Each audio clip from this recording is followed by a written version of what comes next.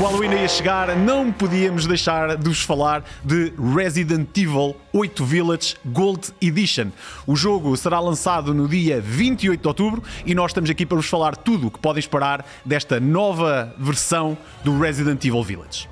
O Resident Evil uh, é um jogo que começou uh, ainda na altura da PlayStation 1, continua por aí fora até que sai o Resident Evil 7 com uma visão em primeira pessoa, ao contrário de toda a franquia que sempre nos acostumou a uma visão em terceira pessoa. Resident Evil 7 também marcou o retorno uh, ao Survival Horror e esse retorno continuou para o Village, que é o novo Resident Evil. Agora vamos receber o Resident Evil Village Gold Edition, que traz um monte de add-ons que tu não vais querer perder.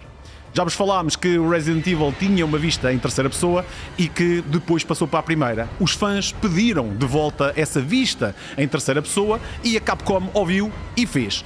Neste novo, nesta nova expansão, vocês vão ter acesso a jogar o jogo, todo ele, na visão de terceira pessoa. Imaginem que tu já jogaste o Resident Evil 8, agora vais poder, uh, além de jogar o jogo novamente com, com mais add-ons, ainda vais poder ver isto numa visão de terceira pessoa, tal como os jogos antigos. Quem não se lembra dos lançamentos Resident Evil 2 e 3 Remake, que recebemos há bem pouco tempo, que, que tanta gente gostou de jogar, agora também com esse mesmo tipo de característica vais ter no Resident Evil 8 8 Village. Isto é um ótimo aperitivo também para o Resident Evil 4 Remake que está aí a chegar já no próximo ano. Para não spoiler muito aqui a malta, porque nós não somos dessa, desse tipo de pessoas, não podemos deixar de referir que Resident Evil Village começa com Ethan, o personagem que já vem do Resident Evil 7, a sua esposa e, o seu, e a sua filha, Rose, ainda é bebê. E é exatamente na filha dela, da filha deles, que se baseia parte deste DLC, em que vais poder jogar com Rose, numa idade já adulta, em que ela descobre que tem poderes especiais.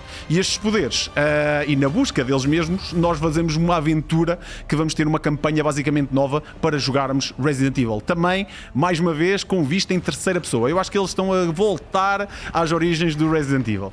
Outra coisa que nós também vamos ter aqui é o modo mercenário cenários com ainda mais missões. Pá, se tu és daqueles como eu que tem de platinar os jogos, então vais ter aqui um desafio em tanto, porque o Resident Evil Village, todo o modo mercenários, tens de o fazer.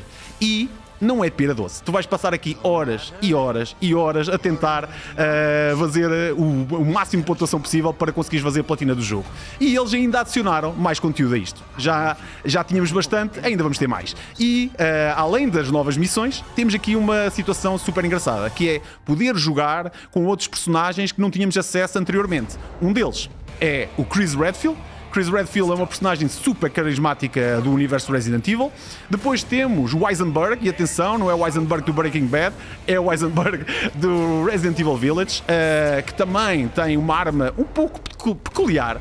E ainda a, a fan favorite Lady Demitrescu. A Lady Demitrescu tem 3 metros de altura. Portanto, imagina, neste modo que vamos ver realmente em primeira pessoa, aqui vamos ter uma diferença abismal de gameplay, porque vamos ver tudo de uma altura muito superior ao que nós estamos habituados a ver com o resto dos personagens. Portanto, temos aqui super uh, uma data de coisas que nós podemos fazer no jogo que não tínhamos acesso antes e que tu vais poder ter acesso se comprares a Gold Edition. Se já jogaste o Resident Evil Village, não tens de comprar a Gold Edition. Podes apenas comprar a Winter Expansion no dia 28 de outubro e acesso a todos estes add-ons.